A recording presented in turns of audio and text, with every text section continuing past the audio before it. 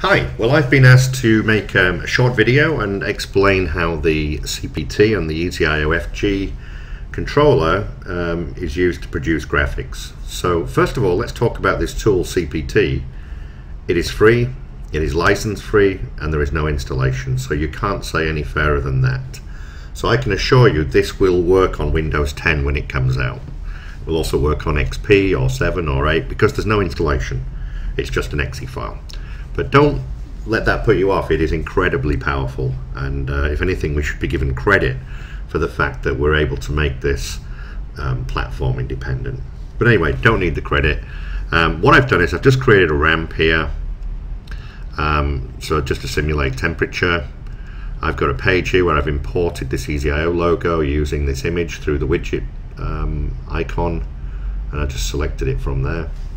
So what I've done is I've selected this ramp over here. Let me just show you how I did it. Just do it again, drag it in here. Um, out goes to, let's, let's put it to a um, label. And when that's done, what we will do is just um, make it slightly bigger. And we'll make the font bigger. You can put any language in here. Let's put 14. Because we're using HTML5 here. Okay, all I would need to do is just save that deploy that. It's what we call a deploy, which just modifies the XML file.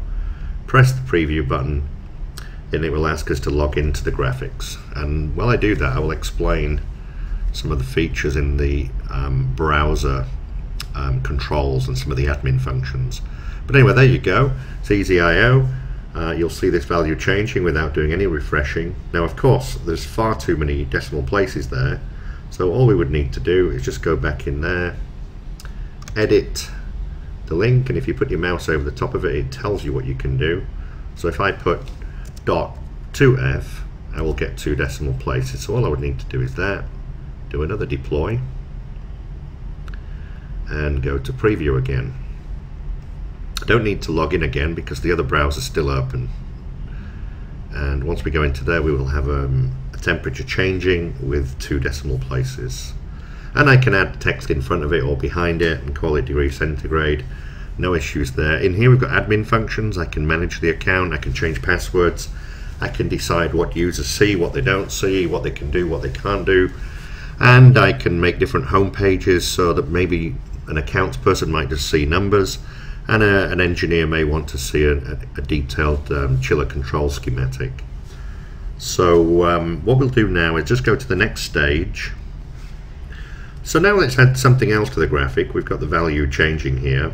Let's now put something like a, uh, I don't know, let's just try something. Just put this in. Uh, let's say we want to have some kind of, um, some kind of thermometer, say, just uh, displaying on this page. So this is like a thermometer widget. Just press deploy again. All that does is just modifies the XML file in the controller and uploads it to the SD card. Press preview again. I don't need to log in because I'm already logged in. And you will start to see the video, um, sorry not the video, the you will now see this thermometer coming up and it will move at the same, same time as this value is moving here. I can change the scale of that so it's a little bit more um, convincing. So I've got minimum and max. If I was to make that a minimum of 15, and a max of say 25 we will get a much wider um, scale there and we'll see it moving up and down more um, obviously. So let's just go into there. You can just close these other two browsers. And you will see we have our thermometer widget moving you know much more uh, convincingly. And what we've got here is pure HTML5 um, I don't think there are any BMS systems on the market at the moment that have pure HTML5. We call this controller BMS in a box because it can do everything a BMS does in one small box. If you have more than one controller, we have peer-to-peer -peer, um, objects where we can broadcast messages. So if you've got an outside air temperature, we can broadcast that to 256 controllers. Um, and all those nice features. It's a fully fledged controller and um, I think 2014 we just sold 23,000 controllers and this year it'll be 32,000 and we just won the Control Trends Award for the best controller in the world for the third year running So rest assured it's quite convincing. Uh, but let me just show you the next part now. Let's say we wanted to add a second graphic, but we're too lazy. No, not. I don't mean lazy, but we don't really have time to reproduce every graphic that we have. So what we could do is just go into the backups here. I have many backups in here, and I could go to say, um, I don't know, a boiler plant. This is a project in Wales, I think. Someone sent it to me. There you go, a school project. If I go into CPT in the backup into app, GR data, and grab the uh, the main, well, let's just grab those three. In fact, let's just grab those four actually. So those .gr files are actually graphics. And what I'm going to do is paste that into the one that I'm working on. Now, to find that, you would go under CPT Tools, Development. This can be anywhere on your PC. I just keep it on my D drive.